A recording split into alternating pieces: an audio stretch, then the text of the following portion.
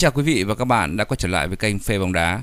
Sau đây là những nội dung chính sẽ có trong bản tin ngày hôm nay.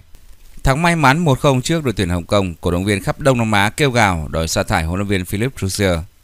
Vâng, kính thưa quý vị và các bạn, ở trận đấu đầu tiên dưới thời huấn luyện viên Philip Trussier, đội tuyển Việt Nam giữ sạch lưới nhờ may mắn và chỉ ghi duy nhất một bàn thắng trên chấm phạt đền. Về lối chơi thì đoàn quân áo đỏ chưa đáp ứng được những gì kỳ vọng của người hâm mộ. Ở trận đấu này, huấn luyện viên Trussier đã tung ra đội hình gần như là tốt nhất cùng các ờ, trụ cột là Văn Lâm, Ngọc Hải, Duy Mạnh, Văn Hậu, Tấn Tài, Tuấn Anh, Hoàng Đức, Tuấn Hải hay Quang Hải. Ở vị trí mũi nhọn do Tiến Linh nhưng không thi đấu vì chấn thương. Nhà cầm quân người Pháp đã trao cơ hội vàng cho tài năng trẻ Văn Tùng. Trước sự cổ vũ cuồng nhiệt của cổ động viên tại sân nhà Lạch Tray, Hải Phòng, đội tuyển Việt Nam nhập cuộc hưng phấn với đối chơi áp đảo về tỷ lệ kiểm soát bóng, đẩy Hồng Kông lùi sâu về phía sân nhà. Mặc dù áp đảo về tỷ lệ kiểm soát bóng nhưng đội tuyển Việt Nam không thể hiện được sự hiệu quả trước khung thành của đội tuyển Hồng Kông. Các pha phối hợp của đoàn quân áo đỏ thiếu sự đột biến để gây ra khó dễ cho hàng thủ của đội khách. Trong thế trận đó, hàng thủ của đội tuyển Việt Nam lại liên tục mắc sai lầm. Ở phút thứ 21, phát xử lý bóng đầy bất cần của Di Mạnh đã tạo nên điều kiện để Martiro thoát xuống đối mặt với thủ thành một lần. Rất may cho đội tuyển Việt Nam là thủ thành của Bình Dương đã giành chiến thắng trong tình huống một đối một đó. Không dừng lại ở đó, tới phút 29, Hồng Kông tạo ra tình huống tấn công sóng gió. May mắn đã đứng về phía đội tuyển Việt Nam khi cú dứt điểm đầy uy lực của Martel Or đã đưa chúng sang ngang. Thi đấu nhạt nhòa nhưng đội tuyển Việt Nam lại may mắn được hưởng một quả phạt đền ở phút thứ 31. Trọng tài đã xác định trung vệ Helio đã phạm lỗi với Quang Hải trong vòng cấm. Trên chấm 11 m Quế Ngọc Hải đã bình tĩnh đánh bại thủ thành Kawin mở tỷ số cho đội tuyển Việt Nam. Trong phần còn lại của hiệp 1 trận đấu diễn ra với tốc độ chậm. Tình huống đáng chú ý nhất là cú phạt ở bên phía cánh trái của đội tuyển Hồng Kông.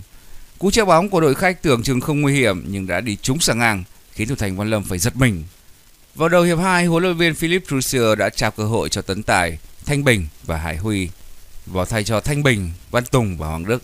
Ngay sau khi vào sân, Thanh Bình đã được trao cơ hội ngon ăn từ cú căng ngang của Tuấn Hải. Tuy nhiên, tiền đạo của Hoàng Anh Gia Lai đã không thể tung cú dứt điểm như ý trước khung thành mở rộng của Hồng Kông. Ngay sau đó thì Hồng Kông đã đáp trả với cú tạt bóng từ cánh trái. Một lần nữa, Sáng ngang lại cứu thua cho đội tuyển Việt Nam. So với hiệp 1 thì đội tuyển Việt Nam tạo được sức ép lớn hơn về phía khung thành của Hồng Kông.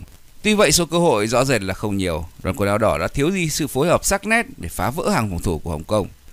Ở thời điểm cuối trận, Xuân Mạnh và Văn Khang đã được huấn luyện viên Philip Trussier tung vào sân. Phút thứ 77, Văn Khang với cú căng ngang từ cánh trái đã tạo cơ hội cho Tấn Hải, nhưng thủ thành của Hồng Kông đã kịp băng ra để cản phá.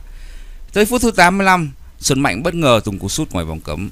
Bóng đã khẽ chạm tay của thủ thành Kawin trước khi đi đến xà ngang và đi đến hết đường biên ngang. Đây là tình huống đáng chú ý nhất mà đội tuyển Việt Nam tạo ra ở đầu hiệp 2. Trung cuộc thì đội tuyển Việt Nam đã giành chiến thắng với tỷ số 1-0.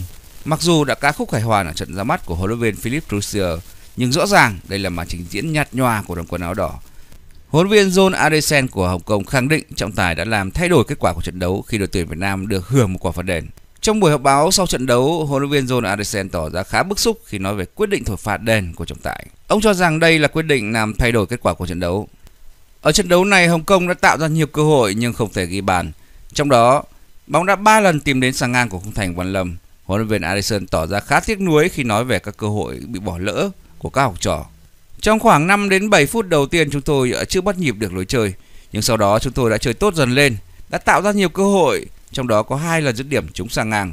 Tôi tiếc là những tình huống đó không biến thành bàn thắng. Các cầu thủ của chúng tôi đã chơi tốt hơn so với trận gặp Malaysia. Các cầu thủ của chúng tôi hôm nay chơi pressing rất tốt. Tôi hài lòng với màn trình diễn chung của cả đội hôm nay. Tôi đã đưa những cầu thủ tốt nhất vào sân và cho cơ hội để họ thể hiện. Vấn đề lớn nhất là đội đã tạo ra nhiều cơ hội nhưng không à, thể chuyển hóa được thành bàn thắng. Chúng tôi sẽ cố gắng cải thiện vấn đề đó trong tương lai. Khác với huấn luyện viên John Addison, huấn luyện viên Philip Trussier đã không tham dự buổi họp báo sau trận đấu. Sau trận đấu giữa đội tuyển Hồng Kông và đội tuyển Việt Nam sẽ di chuyển tới Nam Định để chuẩn bị cho trận đấu giao hữu thứ hai với Syria. Trận đấu sẽ diễn ra vào ngày 20 tháng 6 tại sân Thiên Trường. Trong khi đó, đội tuyển Hồng Kông sẽ trở về sân nhà để tiếp đón Thái Lan vào ngày 19 tháng 6. Và đây cũng là điểm kết trong câu chuyện ngày hôm nay. Cảm ơn quý vị và các bạn đã quan tâm theo dõi. Đừng quên bấm nút đăng ký kênh và chuông thông báo và chia sẻ. Còn bây giờ thì xin nói lời chào, tạm biệt và hẹn gặp lại.